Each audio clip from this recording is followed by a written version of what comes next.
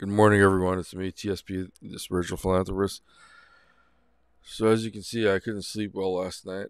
I don't think I even got any sleep at all. I'm very tired. Sorry about the way I look. I'm really, really exhausted. My head's killing me here. Um, I'm not sure what what happened last night, but I don't know if it was a dream or if it was so real. I was in some place that was beautiful, very beautiful um, it was a place where like everything you think about, I guess, would start to happen. It was really strange. I don't, I don't know exactly what that is. It's, uh, it was odd. You know, I have a very, I have, I think on, on a lot of different uh, levels. Thank God I have some scientific understanding. Uh, not not like a scientist, obviously, or a physicist, but I have a very very basic fundamental idea, and the things that that my mind were able to either fabricate if if it was a dream, it was too vivid and too detailed. There's no way. Uh, the, the the person that I communicated with on there was like an android of or a, or something. It was like a it was like talking to AI. Actually, it was weird. It was like speaking to an AI because its eyes wouldn't uh, doesn't move like a human's eyes, but it looked like it had a human body um, face. It was a female. Uh, it was, a, I guess, it was beautiful African American, uh, or looked like African American uh, woman. Uh, and, remember, this is, I don't know what this place was, but it was beautiful. And uh, I jumped into the air and I started floating and I came back down and I looked at her. I thought she'd be freaked out. And I said, uh, I said, "What are you freaked out?" And she just looked at me very nonchalantly, but said just like a, almost like a robot. She's like, "No." She uh, she said, uh, "She goes, I'm used to this." And I said, "What do you mean?" She's like, "You're." She goes, "Everyone in off world can do this. It's because you're off world." And I looked at her. I said, "Because I'm off world." And then I stopped and I started thinking about. it. I said, "Off world? What does that mean?" And then it clicked to me. I was like, "Wait a second that would mean I'm in space. If if if off world, uh, if she says I'm off world, doesn't that mean off world means you're in space? That you're not on this world anymore. then I realized I was what I what I realized is I was in space in some place that looks just like you're on a like here, but it's it's a ship of some sort. Like I don't know how to explain this. It was the weirdest thing in the world. Like guys, I tell you a lot of things and I said the first sign to look out for is fire in the sky, and we had that sign. The sky looked like fire, literally. In the last few days, if if if you see me on Facebook, you know the spiritual philanthropist. You know the things I talk about. You know when I talked about this. You guys all know. If you keep up with my stuff, you know what I say. There's something more to this picture. I know there is, and this is why I get censored as much as I do. They're not censoring me because I'm such a bad person or anything like that. They're mm-hmm. censoring me. There's a lot more reasons they're censoring me because I believe that I keep getting these transmissions consistently. There's something to it. They know that I'm getting them too. And uh, that's why they're censoring me. I want you guys to know that I get them. It might sound crazy, but the numbers that I got, they were like this listed on this side. Well, I guess to you guys, you would see it here, I guess, on this side. And it would be 888 1616. 888 1616. I got those numbers over and over in my dreams. 8881616 you don't get numbers consistently in a dream like that. Uh 8881616 if anybody knows what the hell that is i'm just throwing it out there. If you think i'm crazy that's fine. I don't really give a shit anymore. But something's definitely going on. You can't apply a consistent uh message through a dream there's something there's something to these things that we call dream that they don't want us to know. There's a reason that they can also collect images now from from your brain. I mean, if it was if it was insubstantial in any way, I mean completely, if it was totally insubstantial or intangible in some way, you wouldn't be able to collect an image from it. That means there's some form uh, of tangibility to it, something. You know, there's something there. Uh, we can only gather remnants of it, or, or, or the very uh, it's like taking a photograph of a dream. Think about that.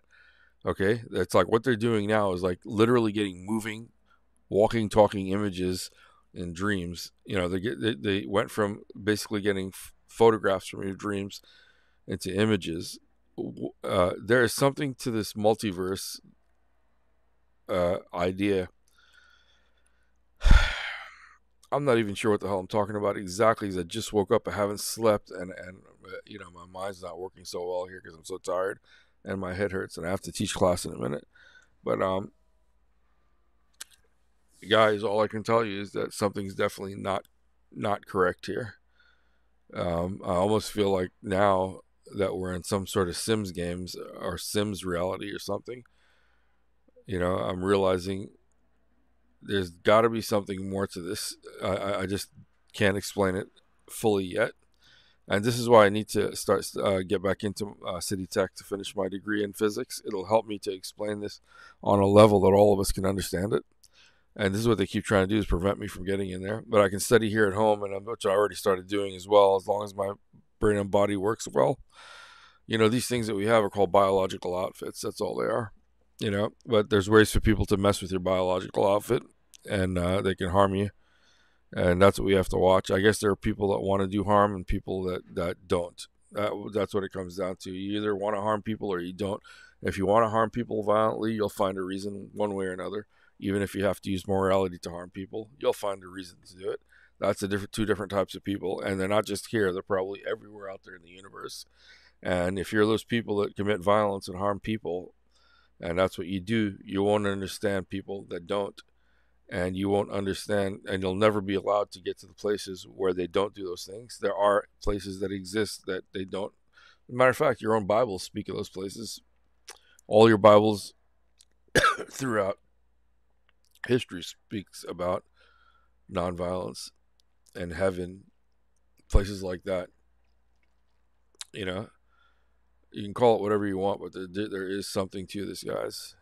Um, all right, I have to get myself prepared to teach a class. I'll be back on later to talk about this uh, after I finish. All right, guys, I'll see you then. And uh, I'm still very perplexed of, of what I experienced. I, I it was I can last last month I've had these dreams consecutively. I'll, there's a few others I want to tell you guys, but I'll wait till I come back on. I'm just like really excited uh, about something. I'm not sure what it is, but if they're saying a mothership that looks like a mothership is in our our solar system, so if there is a mothership in the system and it's on the news and everybody's talking about it, the things I'm saying should should make sense to you. The only reason they'd be worried is that if they have something to worry about and they know that,